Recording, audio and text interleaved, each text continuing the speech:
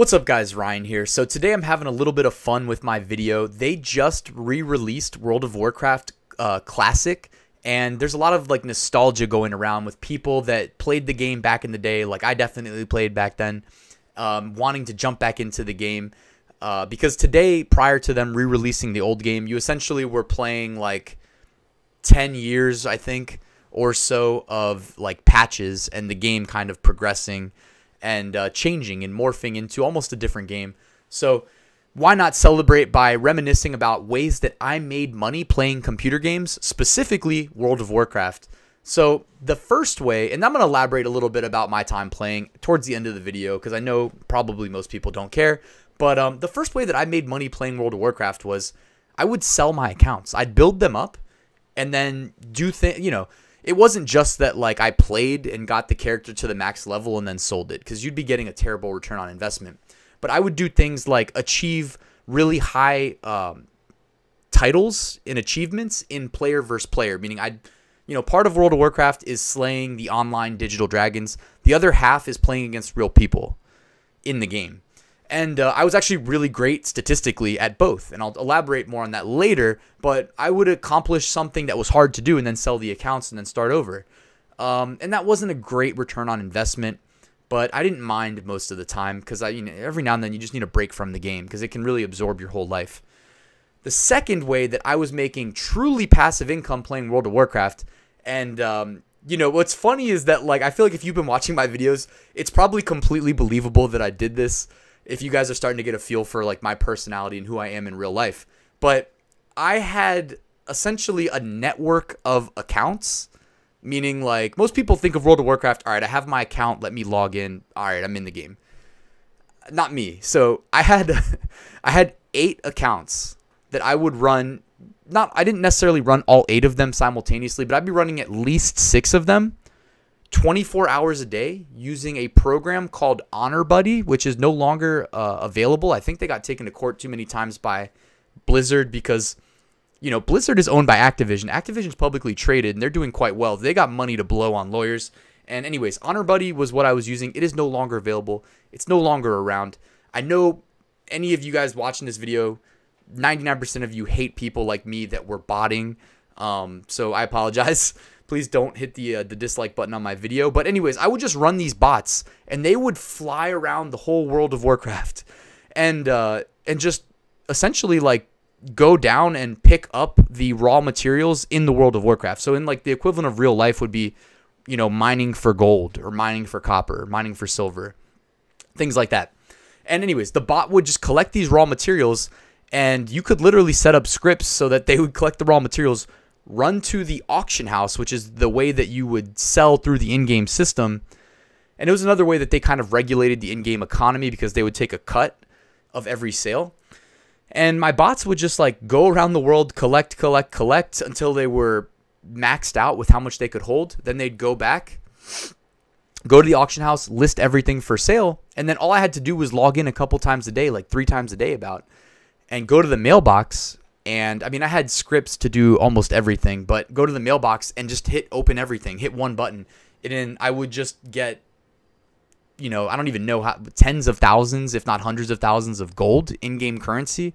And the way I made money is I would, you know, in a creative way, because you want to kind of avoid detection, but I actually, I'll be honest, there was really no, Blizzard wasn't really trying very hard when I was doing this to, uh, sniff out the people because it is against the uh, the game terms to sell in-game currency for real life money, but they weren't really doing too much to prevent it.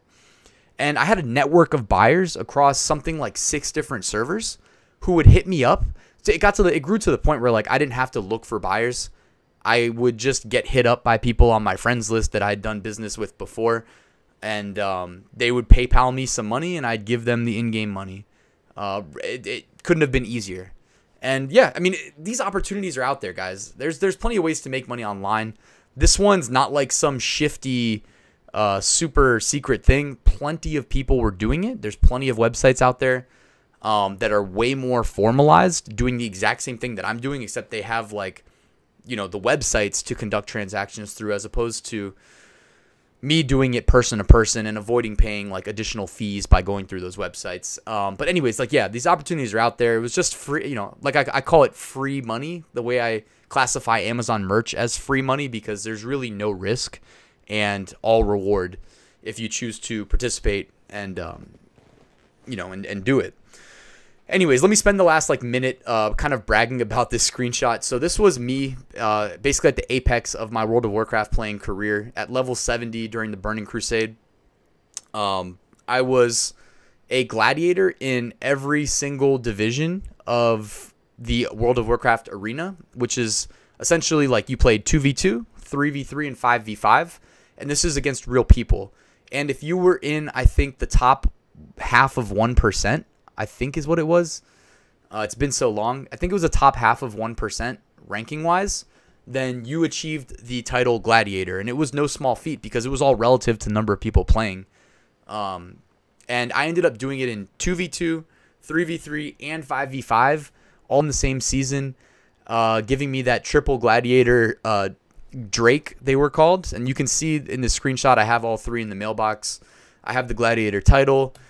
Um, I also did it you playing a mage, which was the second lowest represented class. Um, class meaning like what you know you could be a mage, a hunter, a warrior, priest, paladin, uh, rogue, druid, shaman. Like there's you know you only get to choose one class per character, and that's kind of like your vocation that gives you your skills in game and kind of determines what you're able to do. Uh, it was the second lowest statistically represented in the high end arena.